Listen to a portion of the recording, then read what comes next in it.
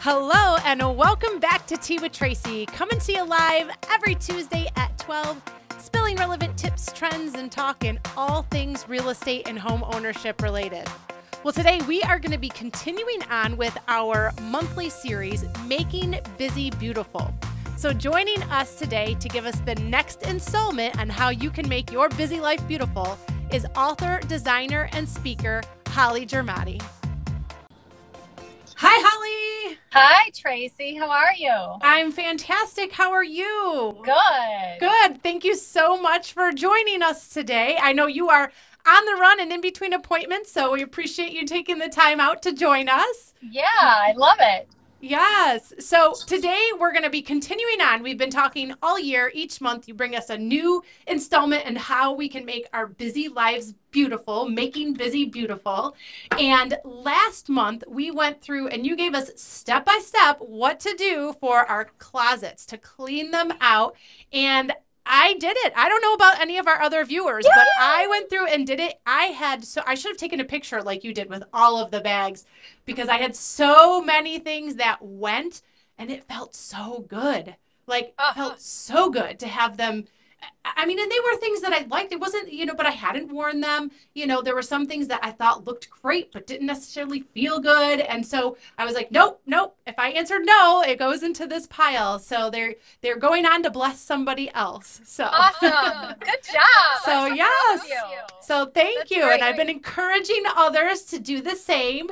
And I know this week we're going to kind of take the next step with that, right? So you're going to give us yes. some steps on how we can, what we do from here, right? We've done the closet clean out. And if you haven't, you can go back and watch last month's episode and get the steps. But if you have and you're ready for the next step, Hollie is here to give that to us. Yeah. Okay. so, so just super super easy this is this is not me giving anyone style advice right. this is this is straight up style strategy my goal for myself and also for my clients is to just um, empower women mostly to feel confident in when they're stepping out of the house every day or even if they're at home feel confident in what you're wearing and and a lot of that is just it's about having outfits ready to go, knowing that what you're going to put on, they're they're items that you feel good in, they're items that you feel comfortable in, and that look good on you. And if if you're comfortable and confident, then you're just going to be happier throughout your day. Yes. So yes, so absolutely. yeah. So uh, I have four four easy steps. Okay. We've done the closet clean out. Yes. And now you're left with all of the items that you didn't get rid of, which means which means they qualified. They're they fit you.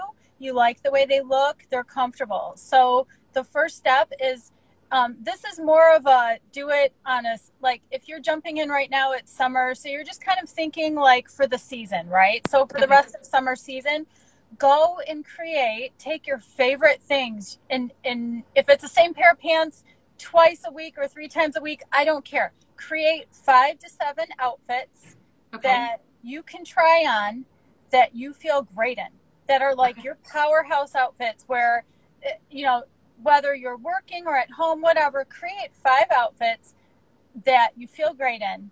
And okay. then you're going to be really brave and you're going to try them each on, stand in front of a full length mirror, and do that Instagram like selfie the full shot oh. selfie, okay, okay, of yourself in each outfit. There's a really important reason here, and I'm diving into the second step here with that okay. little photo shoot. You're going to take these photos and you're going to create a photo file for yourself on your phone of you and your favorite outfits. Okay. And I have maybe like 60 pictures of myself. Sometimes I post them uh, on my social media, but really I'm doing it for myself because mm-hmm. I do have those days where I'm not feeling great or I just don't feel like thinking about what am I going to wear or I need a new idea. And I'll go through my images and sure enough, I'll be like, oh, I felt great that day and that's cute and that fits the weather today. And it's no brainer. It's there. That's put great. together. Yeah. It helps take away from some of that decision fatigue, you know, so yeah, yeah. one less decision you have to make. Yeah. So. I'm all like, my goal is always to save it's efficiency, right? Yes. So efficiency at its core with everything I do throughout my day. So this has saved me a ton of time. So that's great. So it's create, almost like flipping through a magazine, right? Like, oh, yeah. I like what she has on. I like that outfit. Yeah. Those are cute earrings, right? yeah, and oh my gosh, those pants. Like I always yeah. think of. Remember, I don't know. There was a there was a media. Um, it was a magazine. It was like not People magazine. It seemed like I would see it, and it was always like a celebrity, and she had like a favorite handbag, and it was all the paparazzi showing all the different days she's wearing it. Or I really love my blank jeans this month and it's that same celebrity wearing her favorite jeans. It's kind of like that. Like, yes. love what you own. Yeah. That's so, great. I love that. Yeah. So, so, now, and you can even do it right for your favorite workout outfits, right? So if it's a day sure. maybe you're not feeling motivated to, you know, go and get in that cardio or whatever it is you need to do that day, you could have those ready as well, right? Like yeah, I yes. feel great when I wear this. It's so cute. So, so. yes. Yeah, All for right. sure. So that's kind of steps one and two. Step three is like take a take a look at these outfits you've created. And some of us are more fashion forward or just feel comfortable in what we have like with accessories or completing an outfit. If you're not and I I call on a few different people for help, but you might see that these outfits need a little help. If mm-hmm. you need a little help, maybe they need like some accessories or you just need to you know that the look needs some fine tuning right. i suggest then focus on that and figure out you know do you need do you need professional help if you do there are like i know nordstrom has personal shoppers J. Crew's pretty good. Like, like go to your favorite stores and see. They might have a personal shopper that works in house where it's a complimentary service, and you can schedule an appointment with them or just bring in the clothes that you know maybe it's one specific outfit and see um, they can help you. Pull pull a complete outfit together.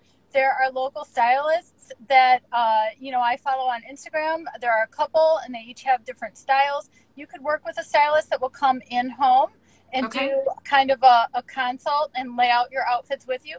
But what's great is that professional help will give you your shopping list of exactly what you need to purchase for each outfit to complete your look.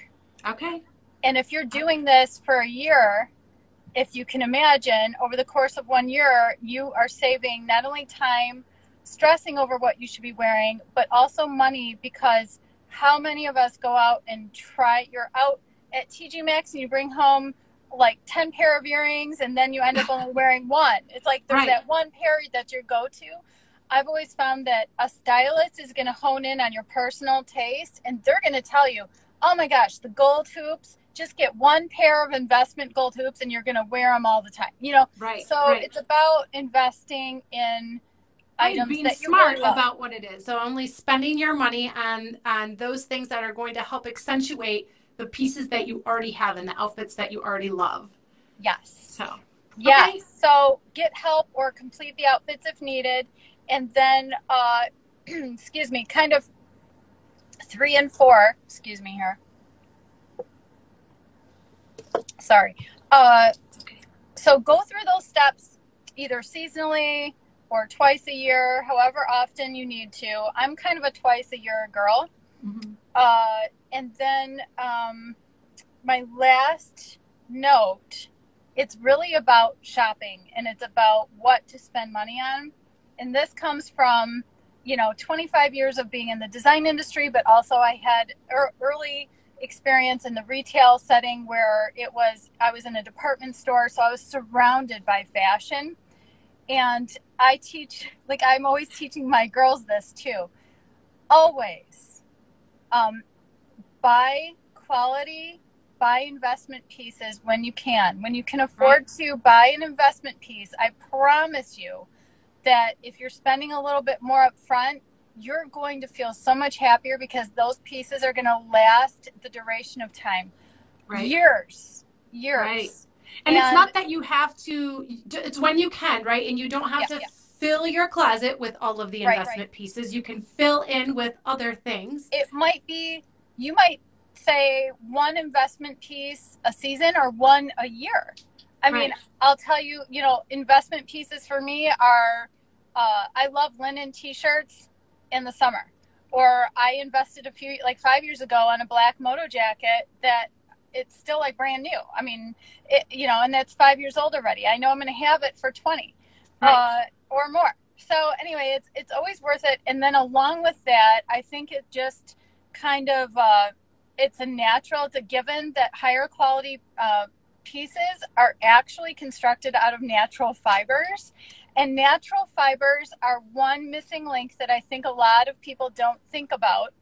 I think about it because I'm working with fabrics a lot with my work with um, mm-hmm. interior design, but natural fibers, cotton, silk, wool, and linen, those four natural fibers, if you can get something that's 100% natural fiber, it's going to feel it's going to operate better against your skin and you're yes. gonna it's gonna work with you with the season it's gonna keep you warm it's gonna keep you cool and also comfortable yeah so, so it's it's, it's going to pass it's going to pass the questions that we ask when we're doing the closet cleanouts because that's not yeah. something you just do one and done right it should be right, something right. that you you do whether it's once once a year or twice a year as the seasons change.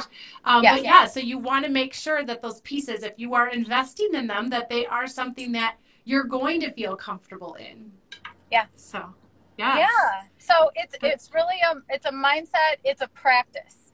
This is you know it is a simple lifestyle practice with this whole closet clean out simple style the idea of having outfits um, ready to go that's just kind of the general gist of it. And uh, if you can kind of work this into your lifestyle, then you will. It does save time, it does save money, and I think it, it builds confidence. Yes.